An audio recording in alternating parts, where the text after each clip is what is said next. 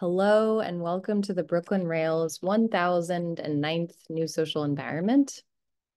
I'm Chloe Stageman, Director of Programs here at the Rail, and I have the pleasure and privilege of being your MC today for a conversation featuring Sacha Yanow and Ksenia M. Soboleva. And now I'll introduce Sacha and Ksenia. Sacha Yanow is a Lenapehoking NYC-based performance artist and actor.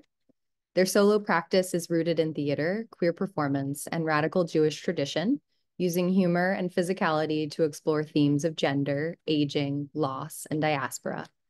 Yanow's work has been presented by venues including MoMA PS1, Danspace Project, Joe's Pub, and many, many others. And our host today, Dr. Ksenia M. Soboleva, is a New York-based art historian specializing in queer art and culture. She holds a PhD from the Institute of Fine Arts at NYU with a dissertation on art, AIDS, and lesbian identity in the United States. Soboleva is currently working on a book project titled Friendship as a Way of Art, Queer Identity and Visual Citation, and co-editing with Svetlana Kitto, the first major publication on the lesbian gallery Trial Balloon. We are very lucky to have Ksenia as a contributor to the Brooklyn Rail. And with that, I'm going to pass it over to Ksenia to get us started. Thank you so much, Chloe, and thanks to everyone, the whole Brooklyn Rail team, for making this possible. It's such a pleasure to be here, as always. Uh, and congrats to Sacha um, on Uncle, which just premiered at the kitchen yesterday evening, and I was very happy uh, to be there. And I wanted to start actually by reading a little piece that Svetlana Kitto wrote uh, about your work. And Svetlana was originally going to join us, um, but I think this will be a good introduction into uh, the performance. And also this way, she's with us a little bit. Uncle is an experimental reimagining of the Purim Spiel, the comic dramatization of the Book of Esther, which is the central text and narrative of the Jewish holiday Purim. As Uncle Mordecai, a shape-shifting diasporic werewolf ancestor, who also goes by friend of Dorothy, Elder Tree, and Old Growth, Yanow performs an incantation that combines biblical Hebrew rituals, priestess spells, Yiddish theater, queer and drag performance, night nightclub antics, anti-Zionist traditions, and the phases of the moon, toggling the thin line between Jewish humor and grief Uncle reframes the old story, calling on us to re-inherit our various cultural lineages and identities, finding them both new and as old as trees.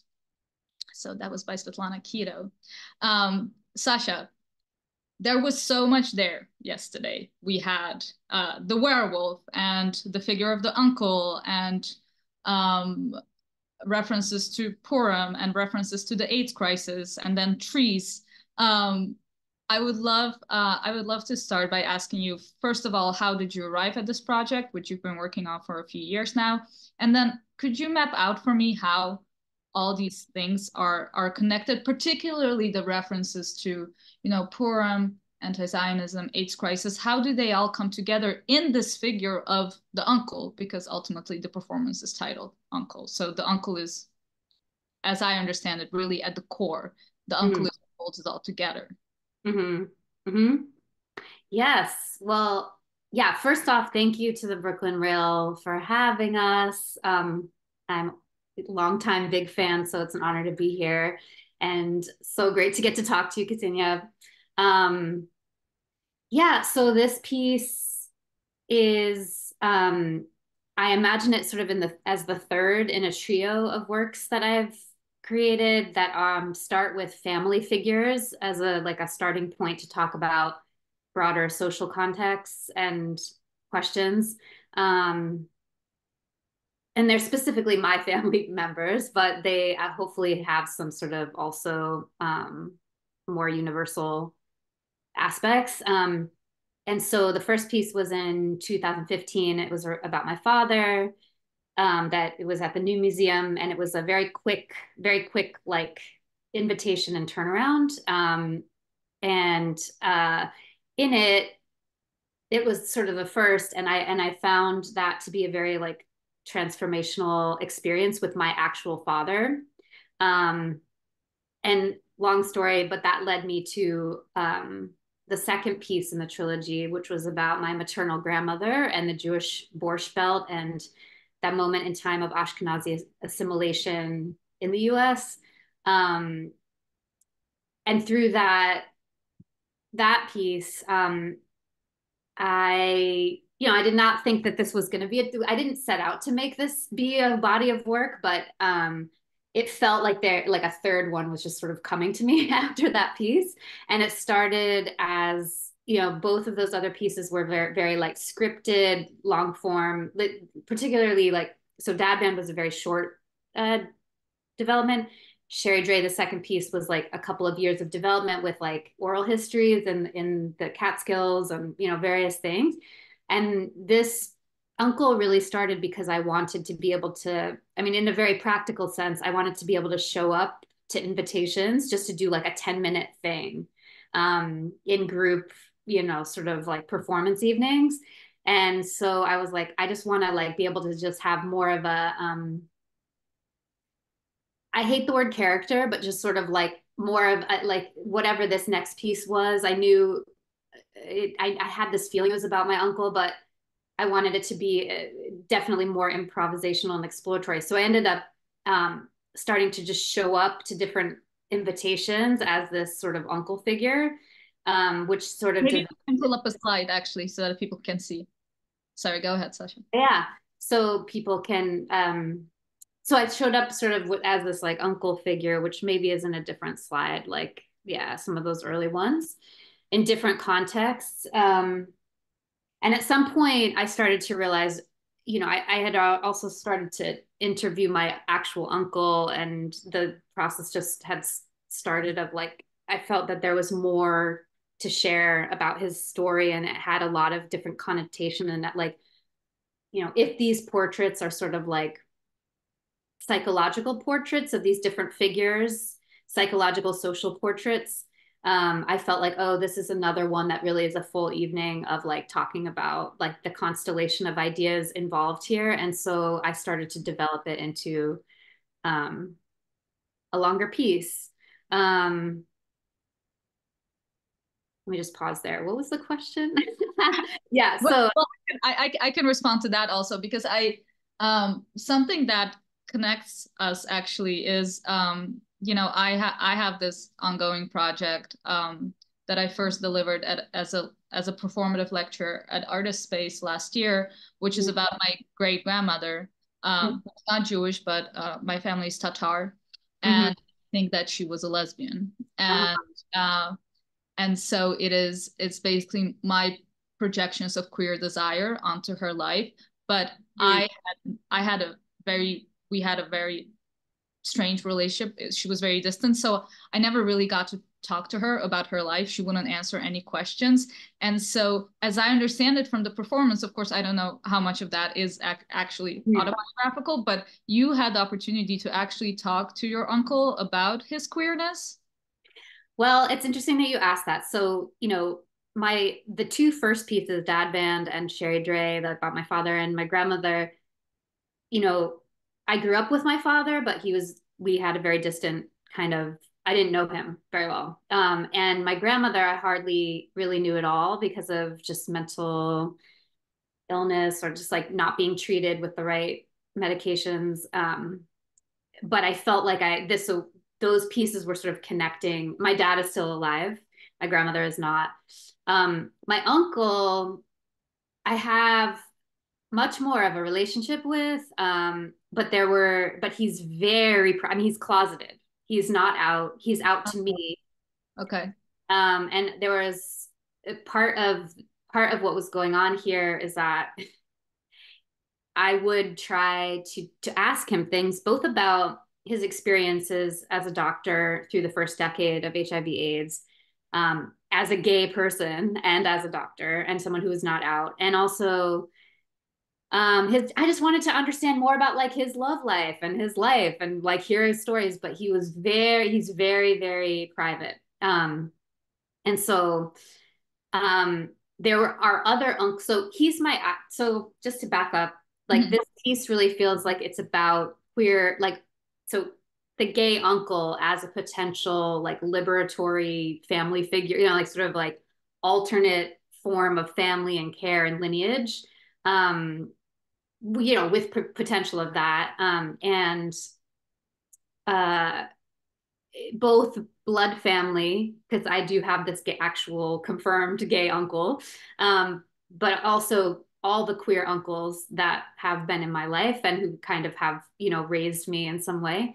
Um, and then just thinking about other so queer lineages also performance lineages that i have been birthed from um, both in terms of queer performance practices and also jewish cultural traditions um, and so i'm thinking about the uncle so it's it started with the life of my actual uncle but it really is a riff on that in terms of talking about these other lineages and connection um, but when I was, you know, but then there's my actual uncle's story. So his story in here is definitely woven with many other uncles' stories that I spoke with, particularly one other uncle in my life, elder, who Philip Yenawine, um, who was one of the founders of Art Matters, who a foundation that I worked for for a long time.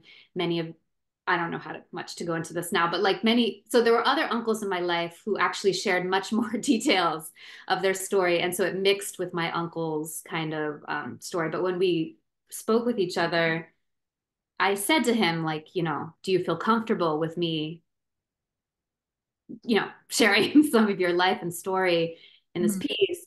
And he was, you know, he was like, well, you know, there's something to respecting people's privacy, which is actually a line that just made yeah, it. Yeah. Um, and I was like, okay, so can, can you just say really explicitly, like, what does that mean? Do you not want people to know that you're gay? And he had some, cons- he was like, well, you know, he's like, he didn't want to not have me do it. He, he's, he gave his blessing, but he was very concerned um, about, he, he still has concerns about his safety, the safety of his patients. Um, I think he's still in a place of like, yeah, fear around it. And, um, that that to me didn't I I don't experience that, you know, like he did, and I think he's still carrying it with him. Anyway, he's given he's his blessing. Doctor. He's still a practicing doctor. So he's literally he's a lung doctor, a pulmonologist who's been practicing medicine through now literally like four different plagues, all of which are still ongoing, like HIV, AIDS, tuberculosis, COVID, um, holy i mean just he's just been he's seen a lot of plagues. And so that was also i had started this piece before covid. Mm-hmm. um, but would like spoke just happened to you know be working on it and spoke with him through all of covid. And it was just you know drawing different associations between the plagues was a kind of a wild experience um, but he's coming tomorrow night. I was I mean, gonna ask. Okay. Yeah, he's, coming tomorrow night. We'll see what he. Wow. Yeah. Um, I wish I could. I wish I could meet him. Um, yeah, it's in a way it's easier to project onto a ghost. I, you mm. know, my great grandmother passed away, and I only started this project like a year ago. Yeah, um, I don't know what like with what it's like with you, but I feel like as much as these pieces and this piece is about my uncle and these uncles in my life, including these uncles that are like from the 1800s. Like I, am really looking for both like queer and anti-Zionist Jewish like uncles that are piecing together lineage. But it's really not up. I'm not like making. I'm not like um. What's the word like? impersonating them or trying to accurately portray them i'm trying to align with some sort of essence yeah them in a in a way that is really about me, like in the searching, not really about trying to be them, if that makes sense. Yeah, it, I mean, it's the beauty of queer ancestry, and and it also makes me think of, um, you know, the movie Poor Things that everybody's raving. I mean, I loved it. Um, but there's there's this one. You saw it? No, I haven't seen it. Oh man. Um. Okay. Well, whatever. Might be spoiler alert, but at some no, actually, it's not. Um. At some point, there's this one line where um Emma Stone is told, You are both your mother and your baby. You're mm. both mother and the baby. And I was like, Oh, yeah, that is so queer. There is something so profoundly queer about that. Um, okay, well, you should see that movie. okay. so so tell me where the werewolf comes in because at the beginning of the performance I thought we were going to play the werewolf game, which was very popular. I don't know if it's popular in this country, but when I was in high school in the Netherlands, that's what everybody was playing. Was what werewolf. is it? Oh, it's not a thing here? Oh, or not a thing in my life. I don't know. What is it? It's, it's a card game. It's a card game and um one person is a werewolf and then there's villagers and it's like you play it with your eyes closed and at the beginning like there's like a classic speech where somebody says so we are surrounded we're in a village da da da and there is one werewolf um, among us. Oh and wow. kind of along the lines of what you said at the beginning of the performance. I was like oh it's the game. We're gonna whoa. Whoa. No i mean wow. No, I would love to offline talk to you more about that. Okay. but um no, okay, so well, um, I guess where this came in, it came in pretty so as I, you know, as I was like riffing on my uncle's life, I started to um develop this like for lack of a better word character who felt very wolfy in nature and i realized oh i am really looking to a lot of the like the jewish masculinity in my family which feels very wolfy um, very hairy? I mean, literally like just, you know, wolfy. Um, so it started with that, but then it quickly, like the association sort of came in around um, the closet. Wolves, shape shifting, sort of like by day, by night. Um, sort of the way also there's something that I, I think makes sense in terms of my uncle's life. Like he's this incredible doctor who takes care of our entire extended family. He's the only doctor in the family and so nobody even questions his other life like you know um but then by night you know he's also gay.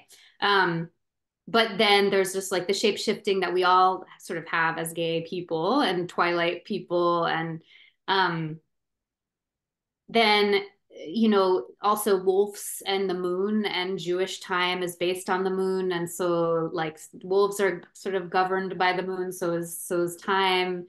Um the i mean it just kind of it just kind of went from there. There's lots of wolf stories folk tales around people um turning into wolves and you know there's like around trauma and like uh like sort of i've heard a lot of stories uh, like around like survivors turning into wolves and like killing their families just like from that internalized like trauma of like and then it being taken out on each other you know just a lot of that sort of thing. Um but yeah i would say that it it came it came from there. But then there's like the idea of the wolf as in we we all have this wolf mess inside. I mean we all have the potential of of being harmed and harming, like being both predator and prey, and um, just thinking about the wolf as also an embodiment of like um I don't even know what the word is, like things about ourselves, messy things about ourselves as humans that we would like to get rid of, but actually have to just contend yeah. every day. Yeah. I mean, Giorgio Agamben the philosopher wrote that um, essentially, I'm going to paraphrase it, but basically the line between human and animal actually doesn't actually run between the human and animal, it runs directly through the human. Mm-hmm, mm-hmm. Love that. Um, so regarding generational trauma, right, it is something that that can be so deeply specific to an individual and at the same time um, you know can speak to an entire community, especially when it's tied to religion. So how do you navigate in the performance between, you know, your very specific experience, right? And then the larger, uh, particularly in relation to anti-Zionism, of course. Yeah. Well, in this piece particularly, I'm thinking about how uh, both as queers and as Jews, we like metab, but specifically to your question, like um, how Jews how we can metabolize trauma so that we that we don't recreate like we, we don't become the oppressors and cre- recreate the harm. And i think this is something that um you know we're seeing play out today in such a devastating horrific way. Um but to me, um, this led me to well first of all just to say like the queer lineage thinking about these queer these lineages they're also lineages of different forms of care and resilience. And um, so in terms of anti-zionism like how how else we look for safety through solidarity and through like that we don't need in fact it's it's it's not safe for us to align with power to an empire and state um, because we lose we lose connection with ourselves and each other. Um, and we don't need nation states for that. We need um, solidarity. So and to live in peace as good guests in diaspora wherever we are. Um, but i I'm sort of talking about this stuff through the story of Purim. It's Purim season. Purim this year is actually at the end of March. And Purim is kind of an incredible holiday. It's a very like, it's one of the most secular of the holidays. Um, it's um, like Svetlana said in her introduction, that writing, it's a holiday that basically the actual holiday is reading the book of Esther from beginning to end at synagogue. Um, and um, I can say more about the Book of Esther, but then there's this tradition, this like Yiddish tradition of the Purim Spiel, which is called a Purim play, which is where everyone in the congregation dresses up as the characters in the story and acts it out. And it's very like funny pageantry. It's like a comic dramatization of the story. Um, and it's a it's a performance tradition that actually predates Yiddish theater. Um, like it kind of birthed one of the things that birthed Yiddish theater. And it's kind of a, it's it's not exactly a religious tradition, but it's involved with the religious practice. And so to me, that's very interesting. Like, what is a ritual? What is a performance? What is a religious practice? What is like a spiritual? You know, like all these things and the blur blurring of lines. Um, so just on a just in terms of the form i thought that was very interesting. But then in terms of the actual content of the piece i mean the story of esther tells the story about how esther with the help of another very important uncle biblical uncle mordecai saves the jews from destruction in persia um, at a certain moment in time. And most and, and then the second half of the story like they go on the jews then go on to enact genocide on everyone who just tried to enact it on them.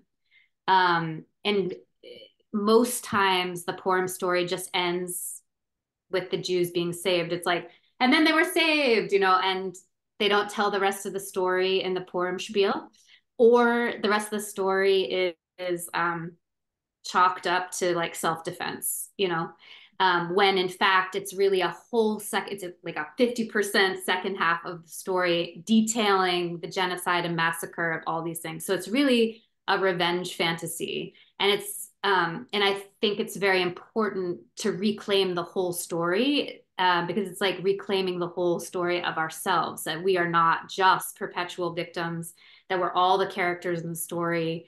Um, and so I think that that has repercussions right now in terms of what's going on in Palestine, um, what's going on in the broader Jewish community around it, like this idea that we are, yeah, perpetual victims here, and that like just not being able to see the tremendous horror um, being enacted by the state of Israel in our name. Um, in fact, the prime minister is even talking about i think it was the prime minister but like the israeli government is is invoking the name of amalek which is this other biblical sort of evil evil character that that that Haman, the villain of Purim, is actually supposed to be a descendant of. Um, that there's an Amalek in every generation, and that we have to wipe out, that we have to like get rid of to be safe as Jews. Um, and yeah, I think it's, I think, I mean, obviously this is a, per, a performance. This is not like a direct action right now, like in the streets around this, but it's hopefully, um, you know, something that can contribute to like uh, an anti-Zionist sort of reclamation and and narrative shift of like, you know, being full messy humans just like everyone else but really claiming that so we don't enact so so we can reckon with it and and and move forward without like enacting that harm yes absolutely and um for anyone who hasn't read my uh, essay in this month's Brooklyn Rail, it is all about the queer solidarity with Palestine. And I encourage you to read it. And yes, I think, and, and I know that you're also very active on the streets um, and you do a lot of direct action, but indeed, I think it's it's also important to think of ways that uh, we can we can address this in in in the work that we're already doing right? So th- that's been an that's been a major thing for me. I'm like how how can i incorporate this into something that i'm already planning to write right? How how can i um, address this in the classroom um, and even if it's just like assigning edward said right? Mm. um so what was it like working with the kitchen which is yeah. in a temporary space that i just love the space? I kind of wish they would stay there. Um, uh, even though you had i guess you you didn't have you didn't have the view i actually would love to hear about that decision to uh, close the windows yeah well um i guess first off the site of the kitchen right now the kitchen is on like the actual kitchen's building is under renovations so they are temporarily at westbeth artist housing which is an incredible complex like just in and of itself like with such an amazing history and so many amazing artists who like live there. It just feels like this old new york i mean you know new york is very very very very old as we know but like this moment in time that's been, i think it's been there for over 40 years some of the people in that in that um so it's a beautiful loft space that overlooks the hudson river the Mahicanatuck and um it's yeah, it's just stunning. I think that the scenic design or like the site itself feels meaningful in a lot of ways. And the scenic designer was hoping to just sort of um, imagine this, like not like try, like use the site as the site. There's a way in which the columns in the site look like trees and forest that looks, and also the way that she, Kate McRae is the scenic designer, that she um, utilize the space also makes it seem like the town square or like a temporary Yiddish theater pop-up vibe or like um, which is has meaning in the piece. Um, it's in the round. Um, and yeah, I mean the decision to to to close the windows is really that that uh, I think just to keep it more intimate and I mean I, I'm not sure this was a decision that the whole creative team had, which made sense when you're in there in terms of like um we are here in the site, but we are also in many different times and places. And I think that seeing like the big W on the in New Jersey would have been a little bit like pulled out of that. Um like the time time. Time. Totally. Time period. But um but is a beautiful view. And then the kitchen itself, so also um, across the courtyard in the complex was for 40 years the home of CBST, Congregation Beit Simchat Torah, which is a like LGBTQIA synagogue, one of the first that my uncle was actually an early member of. Like he joined during the initial decade of HIV AIDS because of needing a place to like mourn and have clergy services, like many people did at that time. And um, so it had me like I didn't know that when we decided on the project like that's one of the beautiful like serendipitous like things that happened that i was like oh my god this is where this this was for 40 years you know and so has that meaning um and my uncle was the first person who brought me to high holiday services as an adult um and he's definitely one of the ones who is a i'd say he's one of the most religious people in my family um so that's just interesting. And then there's the kitchen, which I have a long history with and is so meaningful to be invited back as an artist. I worked there from 1999 to 2006 when I was a wee little person. I got hired like when I I turned 21 at the kitchen, which is like I remember my 21st birthday there. And um I went from being like an intern to then becoming like the director of operations. I saw I think maybe three different directors there. Like it was you know, and I I feel like I went to graduate school at the kitchen. I met my mind was like blown by the artists that I got to work with because I grew up as like a child actor in tradition more traditional theater, you know, and then got to be like in the dressing room with like Yoko Ono and like, you know, I was just like wow. or like Shirley Schneemann or, you know, and, and, at the time like Sapphire and all these people, you know, um, Robbie McCauley and so many brilliant people. And then I got to also sort of be in some of the people's work, like Julie Tolentino, um, who's definitely a performance uncle for me. And uh, Susanna Cook. And there were a bunch of, yeah, a bunch of people. And so I just had like a graduate school, both in like uh, arts administration, but also in like performance studies, as you would say now. Like it's, mm-hmm. and uh, and I literally did everything from like sweep the floors to send out the emails to doing the marketing to dealing with like the elevator and the, the like I it was like overseeing all the programming and so it's so meaningful to me to then be invited back as an artist and and uh yeah it just feels like a full circle that's moment. incredible I want to hear more about your theater background because I know that you also worked with Brooke O'Harra and uh-huh. you were part of Room for Cream yes cult legendary lesbian series. Will yes, yes. that? Well, I grew up as a child. I mean, I grew up. I grew up in Williamstown, Massachusetts. My family is from New York. Um, I was in all the plays, and I was often the ch- like I was in all this like school plays or community theater plays, and I was often the child actor. You know, like if a child was needed in a professional theater, whatever, it would you know like I was called. Um, apparently agents came and scouted me for like a, some revival of Annie that was happening at that time but my I, for whatever reason I didn't go to I would have to have moved to New York and that wasn't in the cards um and I'm, I'm glad because I would probably be dead if I was like an actual child actor like for real not have made it but um yeah I went to um I ended up not joining a theater company after high school and I went to college. I went to Sarah Lawrence College and my that's partly where my ideas about theater really grew and like anyway, I got the job at the kitchen sort of through connections from Sarah Lawrence. Elise Bernhardt had been a who was the director at the time, went to Sarah Lawrence. So yeah, but I grew up, it was, you know, like uh Shakespeare and musicals and stuff like that. So it was very, um, very quite different. Um, and you know, I, at in college, I also sort of left that because I came out and also had to reckon with a lot of like emotional baggage around, around being like what what act what performance was for me as a like a, you know in my family and kind of being the entertainer.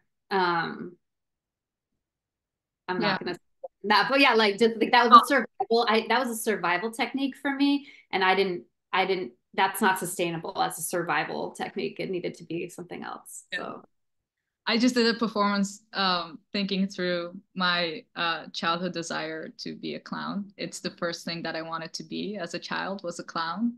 And so I got really into like clown theory and I talked to a professional clown and uh, there was something really profound that she said uh, where she was like you know a lot of people think that uh, the clown's job in the circus is if an acrobat falls to distract from the acrobat's fall but actually oh, wow. that really goes against the clown's identity the clown's job is to deal with the fall and so hmm. I was talking through like, you know, me as a child having to deal with all these people in my life falling. Yeah, yeah. Well, I love that you're saying that because I was just saying to somebody the other night, like, you know, growing up, I always identified as a clown, as a gender, like as an, a gender option that was not any one of, it wasn't, you know, somewhere in between. Like it was a, fluid, more fluid option.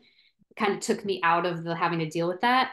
Um, and certainly identified about it, like in terms of entertaining and like being my way of navigating through school and through performance in my family.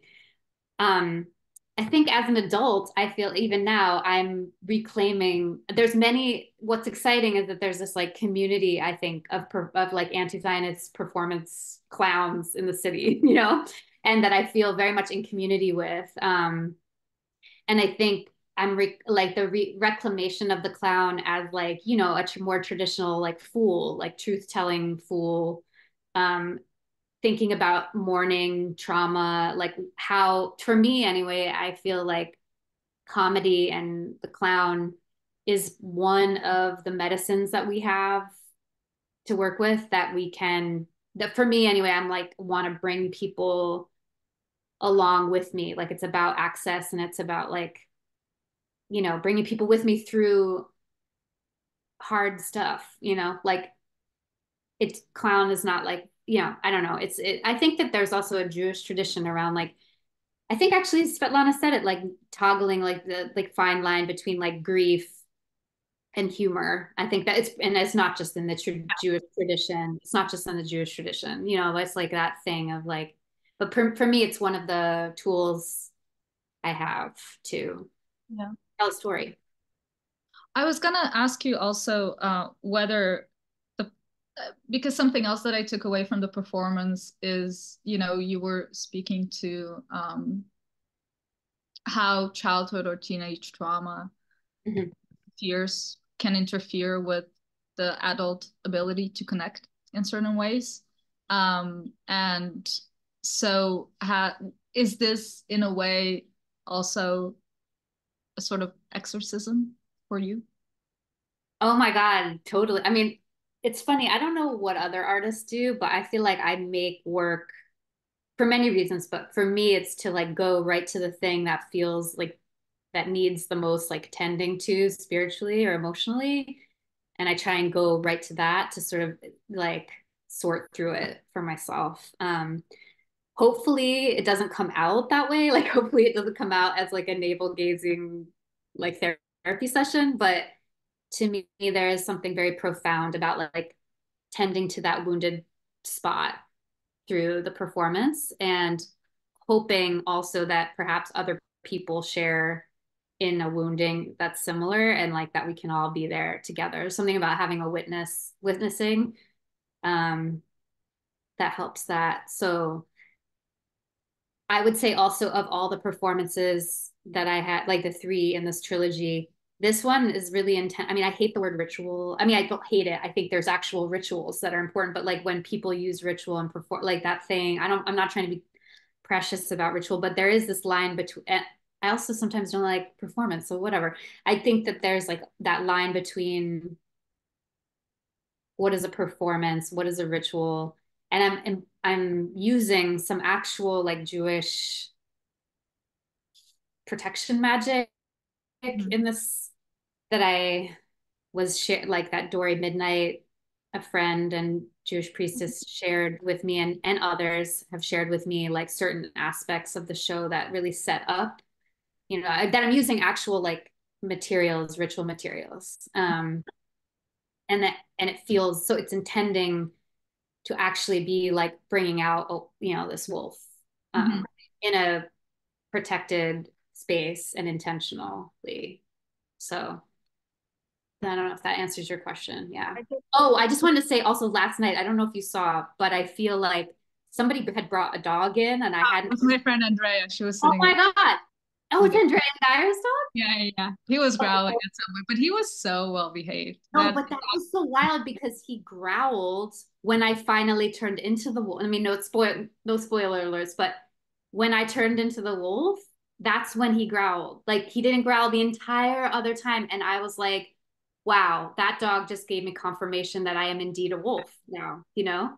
Yeah, no, he was dead asleep the whole time. And even when everybody was stomping, because there's uh, a lot of audience engagement at times, and people were stomping and howling, and the dog was totally fine. And then when you're the wolf, and at some point Sacha is crawling over the floor, and Phoenix started growling. I was like, no, I was like, okay, I that there's like some, I'm like, he get on some level he just was like blessed me. He was like yes you i i recognize you. I felt recognized and seen. And then many people thought that it was you growling.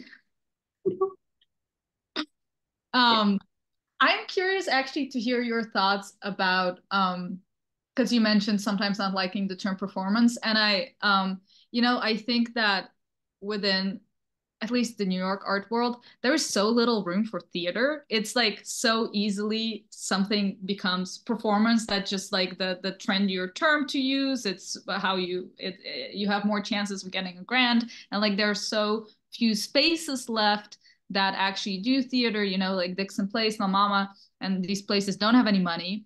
Uh, there's so little money for theater um, you know what what what has happened to theater um, and and how your your performance is isn't your performance is an example of in a way bringing theater back into performance if that makes sense. So is that something that you're consciously um, thinking about committed to? Um, tell me about that. Yeah no it's a great it's a great question. I um i think because of how i grew up in the theater i'm i have such a soft spot for theater and like it's in my it's just feels like it's in my muscle memory.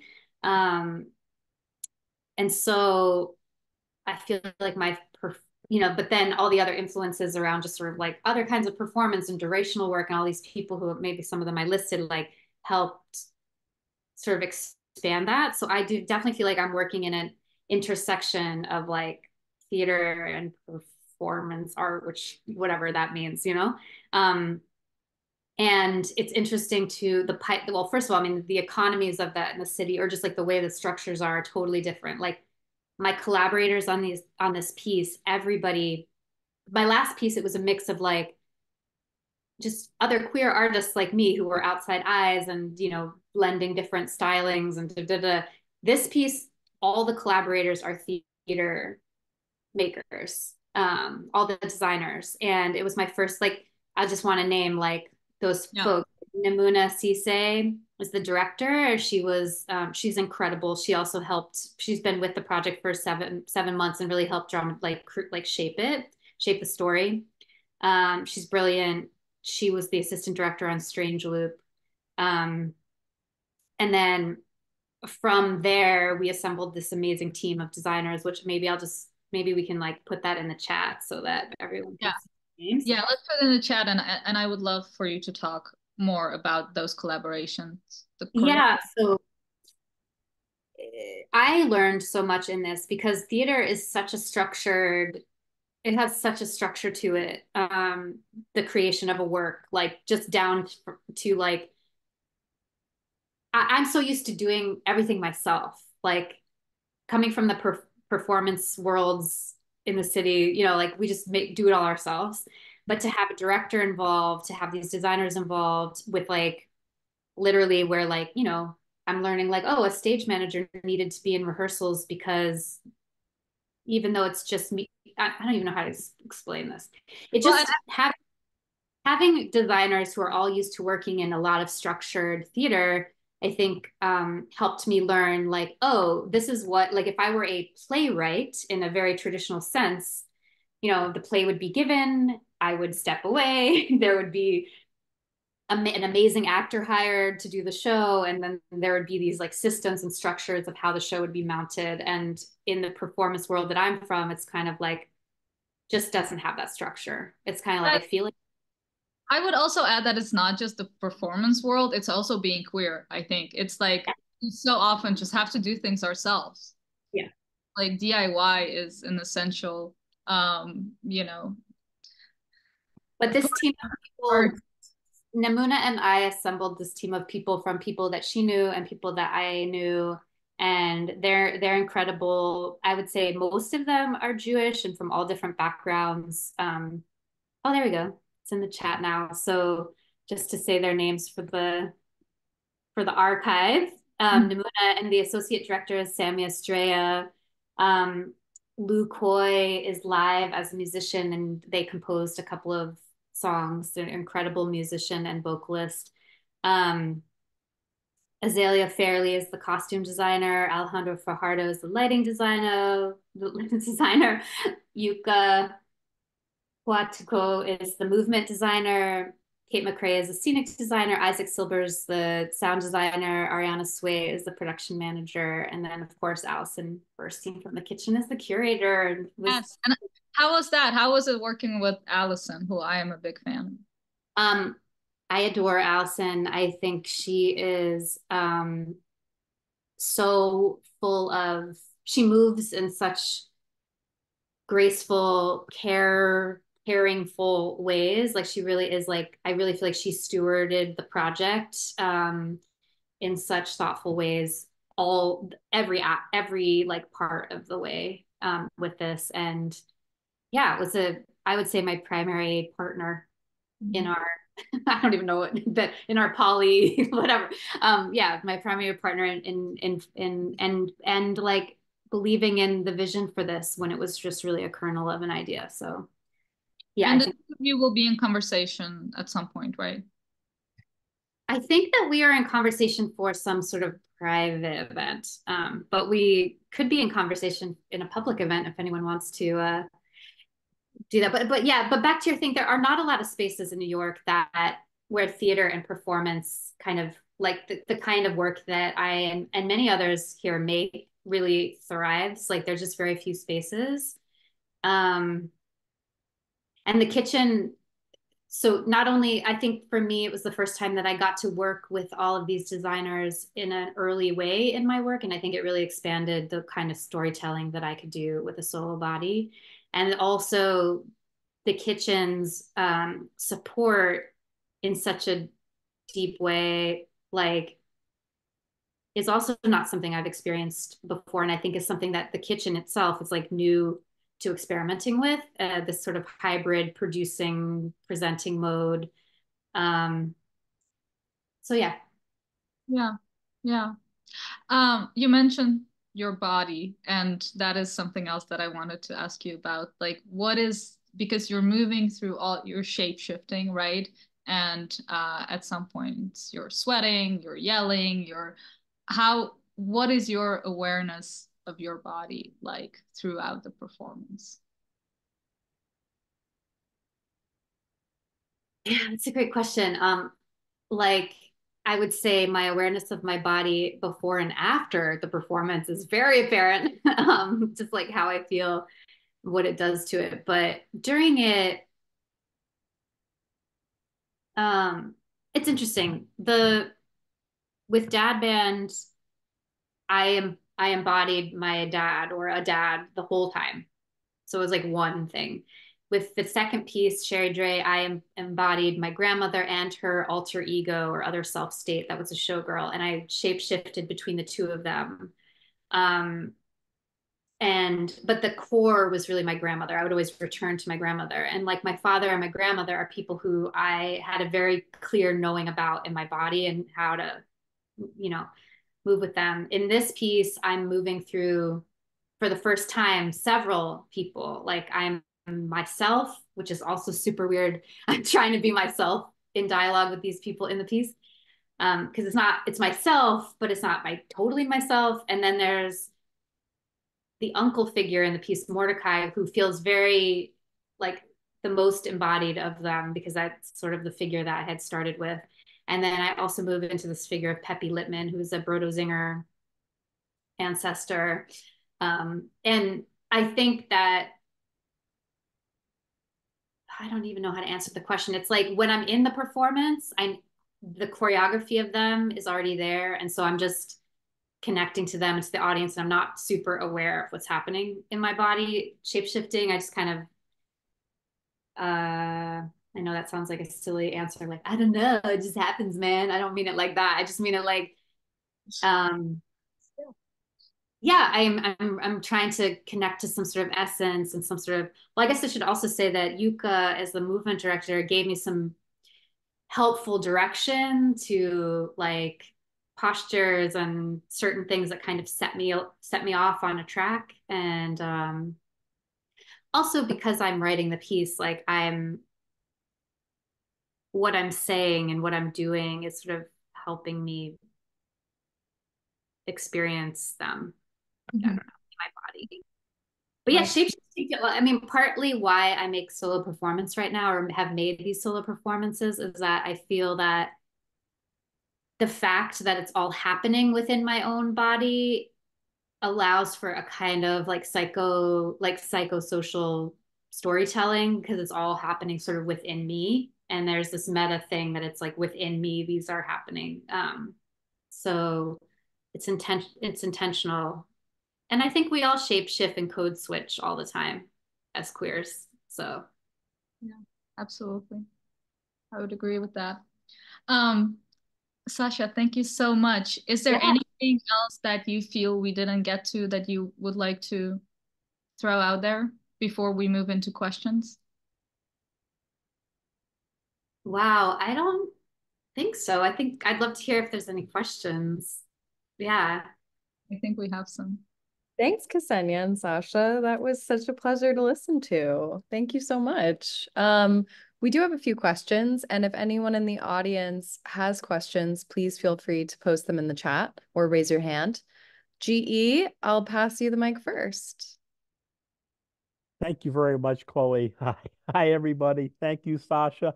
And and um, I'm so so happy. I always love it when we do when when when when theater enters the NSE. Um, Pasha, do you do you see yourself as uh, as a botchin or botkin, you know, from the old Ashkenazic uh, professional entertainer, the poets, sometimes also, you know, holy clowns that actually were at weddings a lot of times that then evolved into the whole Borscht Belt comedian thing that, you know, came out of that tradition. Uh, and, sort of guiding us through the sort of ceremony, giving us these commentaries of truth. Hmm, what a great question. Oh. I would love to know more about them. I I I'm not sure I know that tradition and I'd like to. Um, part of this project is also like reconnecting to these traditions that I feel like I have um, for whatever reason maybe Zionism, I don't know, like been a little bit allergic to of like really looking at biblical traditions and cultural traditions and and uh um but I yeah, I so I've learned I also just like in terms of that question about like uh, exorcism that I was asked, but similarly, I do these projects to learn and research. Um, so I'd love to hear about that. What I can say is that um, the like one of the traditions, like Jewish cultural traditions, performance traditions that I definitely utilize in the performance is like Borscht Belt stand up kind of comedy. And I certainly vaudeville, Borscht Belt comedy, um, the Purim spiel, drag, Yiddish theater, you know, queer nightlife. These are all things that are sort of referenced. And so, yeah, I'm going to look that up when we finish that in the werewolf game. Thank you so much. I, I, the, the spelling of the whole thing's in the chat. So. Great. Thank you, GE. Thanks for that answer, Sacha. I also thought uh, I when I know the werewolf game, Ksenia. So that I, was. I, I thought it was a thing in yeah. the country. Also, I'm I, all, you know, I was born in Russia. I grew up in the Netherlands, and now I'm here, and I, so I'm always in between countries. I'm like, where? What is a thing? Where? Um, yeah, it's definitely a thing. Um, I mean, one of the also one of the things I was like another because you mentioned sort of like leading people through the ceremony or whatever it's called.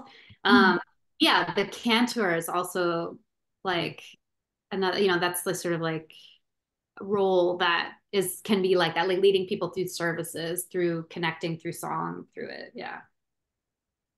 Yeah. Oh, Emmy played uh, Eleanor has a question for you, Sacha. Eleanor, I'll pass you the mic.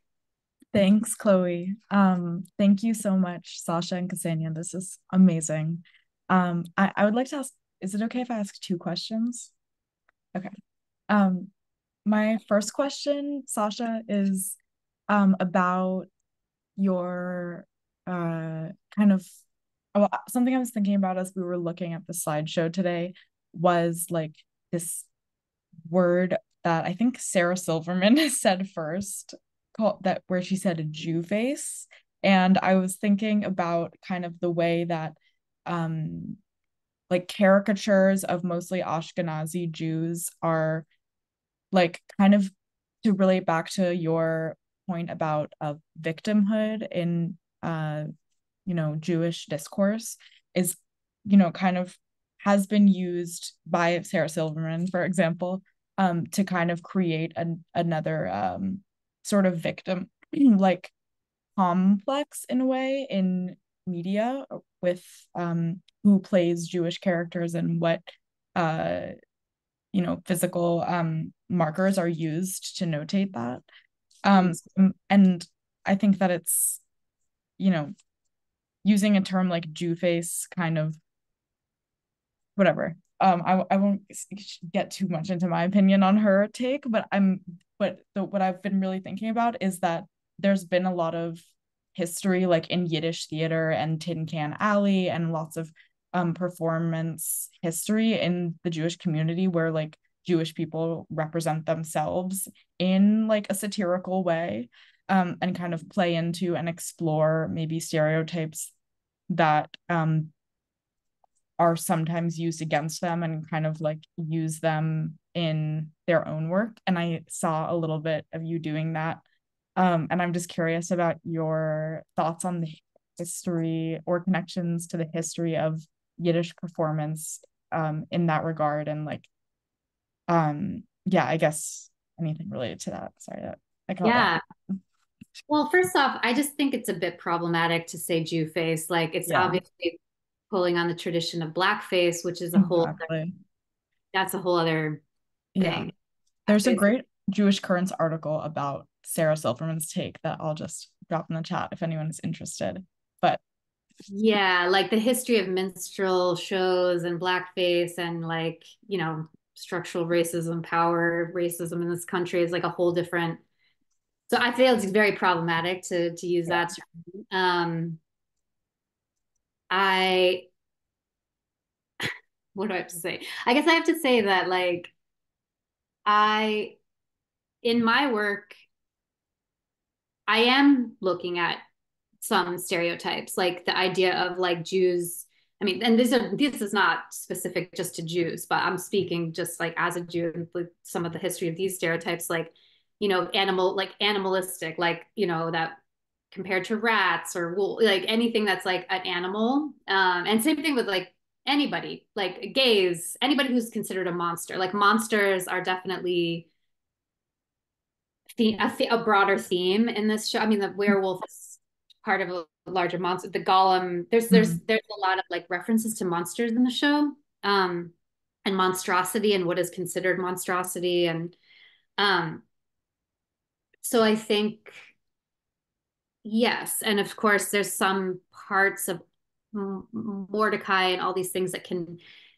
sort of walk a fine line between like what is a stereo what is re re uh reclaiming a stereotype into something else um but i think the broader question of like i don't know whatever mrs maisel or any any kind of like jewish representation and, and for some reason there's a lot more happening right now um i guess i don't i guess i don't feel i mean i feel like if when there's fucked up shit like sorry for my language but like if you know someone's wearing like a prosthetic nose or something or like you know obvious like um things i think that i find that i find that problematic um i don't know. I feel like, yeah, it would be great if a Jewish person can play a Jewish person. Um, I don't feel, I guess, I don't know what to say about this. I feel like, sure, yeah, I do feel, I do feel kind of like a Jew should play a Jew, especially in these like um, stories that are being told, but I also am more concerned, honestly, about the stories being told and how the Jews are portrayed in the stories and what the content and what we're telling, the stories we're telling ourselves as Jewish people and like as non-Jewish people about Jews. Then, yeah, I would say that's I think my main concern. I don't know if that answers your question. No, I totally. think even within myself in the shows, like I don't want to offend the ancestors. I want to offend. I'm trying, you know. um trying to make things really the reclamation of stereotypes very specific so they're not just generalizations that are again causing more harm or perpetuating more stereotypes you know no So yeah hopefully, totally yeah no that makes sense i think it's it's all it's really interesting because like a lot of the um stereotypes like in jewish theater communities a lot of them well i don't know i guess it's hard to trace their origination but that was like such a huge part of yiddish theater like those ex- Yeah. playing with those stereotypes and it was like you know that's i think that that is yeah can be explored in theater now so it, it's cool to see that Yeah. kind of thing because it's like it was and yeah and very and it was very much like kind of an audience thing which kind of goes to my next question um where like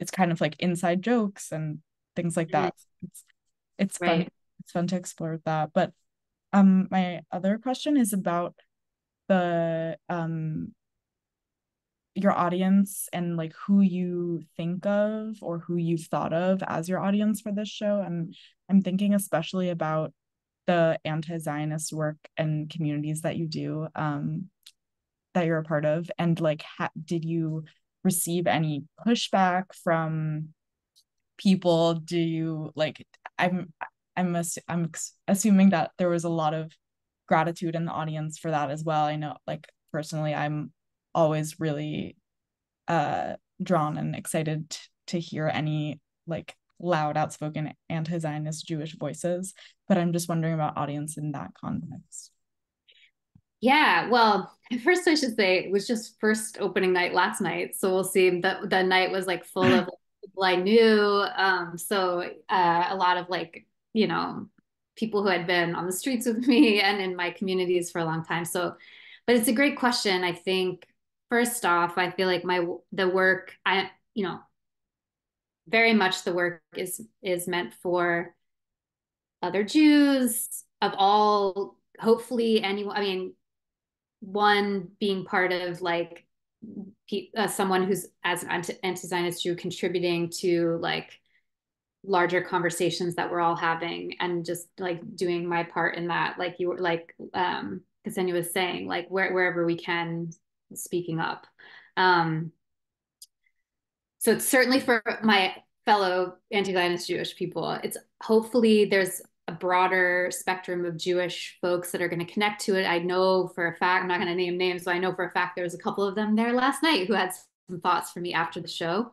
Um, people who probably know a lot more about Jewish traditions like Purim and things I'm referencing, and maybe in a much in a different, not not an anti-Zionist view of them. Um, and then you know to me it's very critical that this piece is not just for jewish people like it, that anyone could find a connection into it um, and the themes of it. And hopefully it's for for all those things.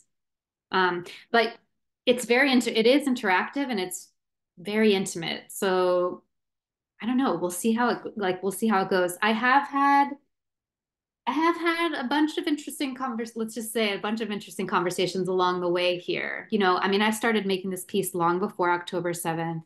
And obviously, like the occupation in Palestine is not new. And so, um, but this particular like escalated horrific moment of genocide there is like um for a while there for a couple months was putting the show under much more scrutiny than I was thinking I would be scrutinized by members of my own family primarily like other Zionist members of my family. Um, and I think now it's just because of the moment we're in I think it might draw other but who knows? I mean hopefully I'm just one of many people like contributing to um you know if you have a platform right now of any kind like that's what we do yeah thank you so much sacha mm. thanks for those questions those are yeah thank you questions, Eleanor. Thank you so much. Thank you, Sacha, for answering our questions. Thank you, Ksenia, for your amazing hosting today. And thank you, of course, one more time for Sacha for all your insights into this project. I can't wait to see the performance. And I encourage everyone to see the performance. There are tickets that became available for tonight's performance, um, and you can, uh, we posted a link in the chat to register for tickets. I'd also really like to thank Allison at the kitchen as well as Blake um, for their support in preparing for today. And of course, to thank the Terra Foundation for American Art, who sponsor this program, the New Social Environment, and make weekday conversations like this one possible. The Rail has been free and independent for 23 years. You can donate to our work via the link in the chat to support our staff and our operations. And if you're free on Monday at 1 p.m., join us for a conversation with captives uh, on captives of heartbreak a critics page conversation featuring elliot jerome brown jr jill h casid sean fader wendy lotterman mev luna cassie packard rachel stern leandra lasur and someone we all may know ksenia m soboleva um, you can now turn on your microphones and say hello and goodbye as you leave. Thank you so, so much for joining us today. And thank you one more time to Sacha. Thank you, Chloe. Thank you, everyone. Thanks, Thank Sacha. you. Thank you so much, so Sacha. cool. Thank you Thank so you. much. Thank you. Great show tonight. Thanks, Ksenia. Uh, thank you. Thank you, Ksenia. Get your tickets, everyone. Link in the- Congratulations on the show, Sacha. Thank you. Fun. Thank yes, you. let's go see the show, you guys, please. Spread out the love. Go see the. Definitely.